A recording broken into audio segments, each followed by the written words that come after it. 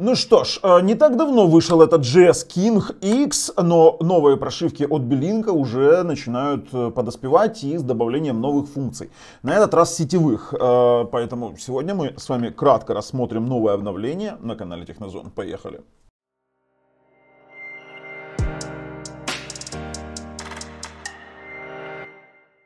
Привет, ребят! Если вы помните мой первичный обзор на Bering JS King, э, то вы помните, что там не было встроенной функции э, сетевого сервера. Плюс там была непонятка с VLine, я его так нормально не показал, и вот вышло обновление, и все это у нас Bering пофиксил.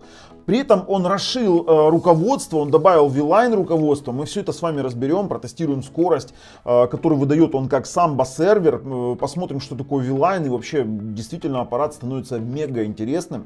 Но э, ссылка на оригинальный обзор этого Белинка, ссылка на обзор э, прошивки на базе Android TV от SASFLAT, а также ссылка на проверенного продавца на этого Belink GS King лежит в описании под видео, как и ссылка на топ-5 э, девайсов разных ценовых категориях категориях и пультов в том числе. Подписываемся, нажимаем колокольчик, чтобы не пропустить дальнейшие наши самые интересные обзоры. Но сейчас я говорю вам Хавбанг, ребята, это же бубльку на канале Технозон. Поехали. Воу-воу, вот так вот выглядит у нас стандартная прошивка Белинка, столь полюбившийся э, нам интерфейс. Пробуем, не поломали ли они виджет погоды. Знаете, было, было разное, видел я. Так, Запорожье заработало, мой родной город. 26 градусов, шикарная погода на прошлой неделе было 42. А, теперь, если мы пойдем в настройки, мы с вами увидим сразу же, что у нас появилась вот такая вот штука, как сервер архива. Они, конечно же, там заявили, что не очень много всего исправили, различных багов стартовых, но нас сейчас это не волнует. Мы с вами разбираем конкретно вот новинки этой прошивки, сервер архива, а, который, если мы заходим, то мы здесь можем задать рабочую группу, мы можем задать имя NetBIOS, а, мы с вами задаем логин и пароль. Да, мне не хватает здесь мультидоступа, то есть если бы я организовывал в своей, в своей студии сеть многоуровневую, то эта конкретно программа не для этого. То есть, но, в принципе, можно взять LAN Drive Pro и э, попробовать организовать там многоуровневый доступ с разными, э, скажем так, пользователями. Это можно.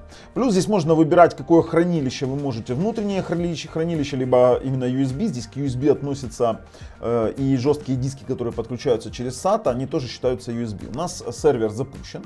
Плюс у нас добавили вот VLine руководство. VLine руководство это конкретно э, вот э, фун функционал NAS с удаленным доступом через облачные хранилища. То есть VLine, они здесь написали, VLine это продукт, основанный на VPN сетях с разнообразными игровыми возможностями, мощными функциями. Он может быстро получать доступ к удаленной сети VLAN и управлять ею, позволяя пользоваться. Не, ну короче, там много всего интересного. У нас есть открытая сеть, есть NAS частное э, облачное хранилище, сейчас будем пробовать установка программы, вот у нас есть с вами скан QR-код и есть как у нас зарегистрироваться. Здесь вот полная, полная инструкция, это мега удобно. То есть Белинк начал делать инструкции прямо в своих прошивках. Плюс у них есть еще инструкция по простому, э, по простой настройке этого самого Белинка. Информация об учетной записи, есть у нас настройки. Слушайте, столько интересного тут. Состояние, сеть, устройство, обзор устройства, что здесь с ним можно делать, диагностика устройств локальной сети, функции NAS. VLAN предоставляет универсальные функции управления NAS для M3, M8 и других устройств, интегрированных с функциями NAS. M3 это миниатюрный сервер данных с функциями устройства NAS. Он может централизованно управлять данными различных устройств, таких как телефон, компьютер, телевизор и планшетный компьютер. То есть фактически вы можете взять э, все свои устройства, синхронизировать с этим э, билинком и все сгружать оперативно туда. Это действительно неплохо. Э, поставили два жестких диска и все, и забыли. Тут вот есть как загрузить, управление передачей, резервное копирование телефона можно осуществлять. И есть у нас какое-то системное сообщение, нас это в принципе-то не волнует. Хорошо, с тоже будем разбираться. А, остальное все а, осталось неизменным, все работает. То есть если мы зайдем в AIDA 64, у нас не нарушили ни Wi-Fi модули, ни LAN RJ45, ничего. То есть это 4 на 64, а, тот же центральный процессор. То есть вообще ничего не поменялось. Температура в крайне низкой, даже мониторить не стоит. Э, вот, температура процессора 36 градусов. Это при работающей функции VLine на, как на сервера и работающей функции э, э, Samba сервера. Плюс вы можете его использовать. Если мы с вами захотим добавить диск, вот у меня один уже подключен э, на 4 терабайта жесткий диск, но подключается это все очень просто. Мы нажимаем с вами э, подключить сетевой диск, вводим IP-адрес, если вы не знаете метку Тома, то это не страшно, нажимаете обзор, он появляется, э, если с первого раза не появилось, нажмите еще раз обзор, появляется ваш э, билинг, и вот мой жесткий диск, я э, выбираю его, например, здесь у меня будет папка Torrent подключена, как внешний жесткий диск. Нажимаем готово, если он запросит логин и пароль, то, конечно же, предоставьте ему данные. Попробуем сейчас его скорость работы, в него подключен LAN RJ45 на 1000 мегабит, работает это все через роутер Эм, Xiaomi AX3600, это Wi-Fi 6 роутер. И попробуем скопировать просто-напросто какой-нибудь фильм на, вот, на рабочий стол. Просто закинем и посмотрим на скорость. Итак, скорость 78 мегабайт в секунду. Это отличная скорость. Вот поверьте. То есть, э, ну, средняя у нас будет, пускай 75 мы возьмем. Средняя скорость 75, э, сейчас я вам скажу умножить на 8, это 600 Mbps он передает э, данные от самбо сервера на компьютер. Это вообще отличный результат. То есть это хороший NAS начального уровня, такого мега начального, совмещенный с ТВ-боксом. То есть я не скажу, что э, это мега NAS сервер, я его там прям советую покупать. Нет, я просто показываю его функции. У нас скорость опустилась до 54 мегабайт, 50, я так понимаю, что это все зависит еще и от кэша. Но в целом это классная скорость, классная. Давайте остановим, а вот она пошла обратно в рост. Давайте остановим, сейчас попробуем туда закинуть что-либо и посмотреть скорость, с которой он будет его принимать. Тут же еще все зависит от того, насколько у вас хороший интернет. Вот давайте видео какое-нибудь мое скопируем. Плюс у вас должны быть достаточно быстрые жесткие диски. Давайте копировать. И на запись он, ну, то же самое, вот 70, э, ну, 60, 70, 70 мегабайт в секунду. 70 мегабайт в секунду в среднем, это ни много ни мало, сейчас скажу, 70 умножить на 8, это он принимается скоростью 560 мегабит в секунду. Шикарно. Вот что я могу сказать шикарно. Давайте э, сразу включим телефон. Попробуем тот же самый доступ на смартфоне. Сейчас мы с вами выберем Explore. Нажмем поиск серверов на текущий момент. И вот есть у нас 192.168. Э, сервер у нас найден. Введем имя пользователя и пароль. Сохраним. И заходим на Билинг. Попробуем что-либо скачать.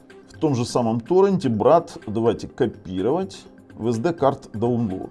И смотрим, на смартфон, к сожалению, передается 14-15 мегабайт в секунду. Ну, здесь уже а, сам по 16. Сам по себе вопрос э, не к билингу, потому что мы видели, с какой скоростью он способен отдавать. Вопрос к организации через Explore, то есть здесь необходимо поменять клиент и к самому смартфону, который подключен к Wi-Fi сети. То есть здесь только это влияет 16 мегабайт в секунду. Чтобы вы понимали, 16 мегабайт в секунду это 128 Mbps. Ну, это, это ограничение самого телефона. Я с таким уже на нем сталкивался. Хорошо, работает. То есть мы спокойненько с этим э, работаем. Теперь давайте попробуем с вами поработать с VLine. Что же у нас такого дает VLine? Давайте, установка программы. Дело в том, что VLine вы можете установить и из Play Market. То есть вы там можете устанавливать его из э, какого-то источника, но он есть в Play Market. Э, дело в том, что на сайте он есть и для Android, и для iOS, и для Windows. Поэтому, ну, для того, чтобы установить на компьютере, мы нажали Agree. Тут, э, в принципе, все на английском языке.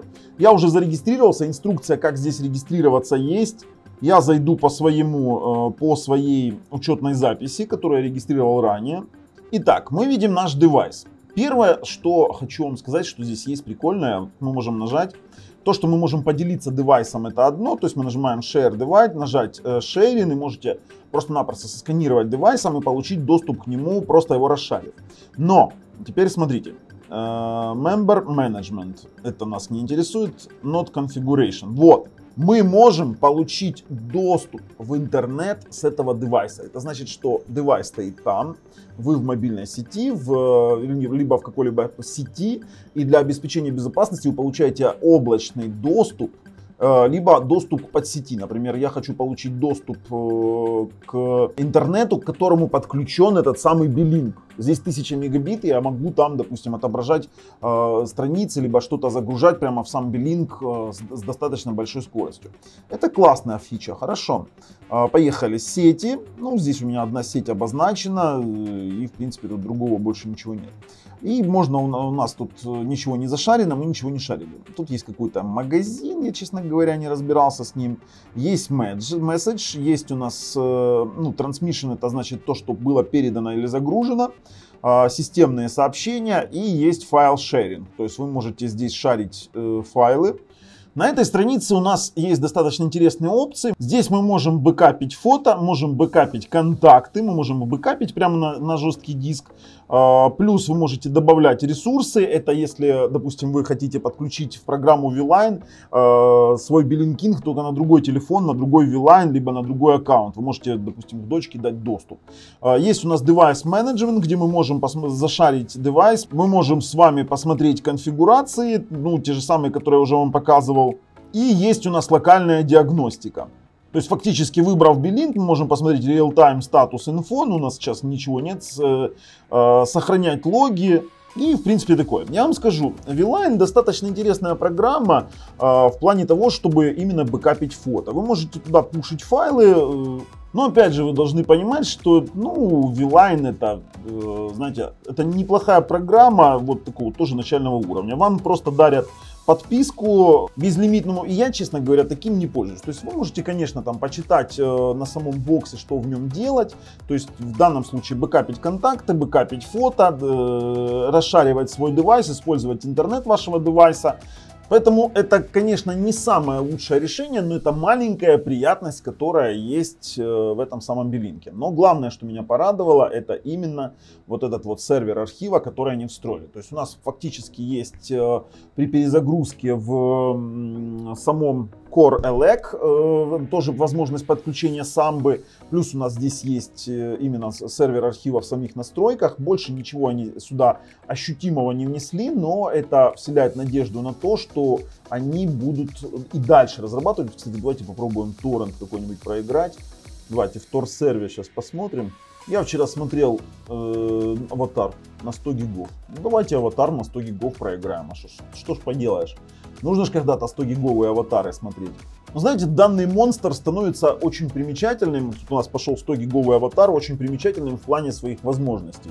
То есть э, со временем, я думаю, вообще ромоделы э, допилят. То есть в отличие от Minix, Belink это платформа открытая, не всем э, ромоделам презентуют свой Belink. Ну, дорабатывать, ребята. Кстати, Minix UX22, вернее U22 XJ уже совсем потерялся, на него Android TV прошивки нет, никто ничего с ним не делает, и это просто-напросто прискорбно с горем пополам подняли Core Elec, но дело в том, что на Core Elec можно поднять на любом лоджике, и ради этого платить 170 долларов за Minix U22 XG абсолютно не стоит.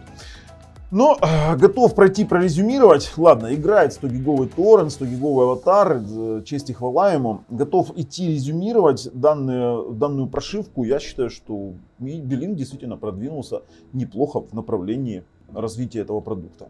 Ну а если вам нравится то, что мы делаем, ставим пальцы вверх. Если нет, пальцы вниз. С вами был Бабл на канале Технозон. Пока, ребят.